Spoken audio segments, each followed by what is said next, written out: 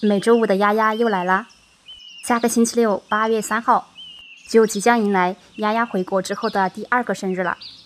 那么下周是不是会有丫丫的两个视频呢？因为每周五是本来固定要发的，然后星期六肯定会有一个丫丫的生日会的视频嘛。毕竟北东的每一只大熊猫过生日都会有单独的一个生日会。好喜欢丫丫的这个小刷子呀，搭配它的脸型就特别的可爱。这一期的视频也是三十秒，但是感觉格外的短，可能是因为这一期没有切换镜头吧。之前发的视频基本上会切换好几个镜头。丫丫这一幕也好可爱，好呆萌呀。本来只是想把这一根笋笋给抽出来的，结果把这个竹筒蜂蛹一起拿出来了。面对两根笋笋的时候，丫丫好像有那么一点选择困难症了。到底先吃哪一根呢？现在的丫丫和谷谷两只都是完全看不出来年龄的。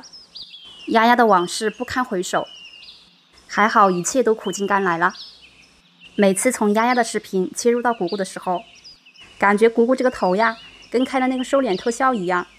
有的大熊猫是嘴筒子长，谷大爷感觉整个头都是长的。要是谷大爷在人类的世界里面，估计就是所谓的梨形身材吧，就是脑袋小，肩膀窄。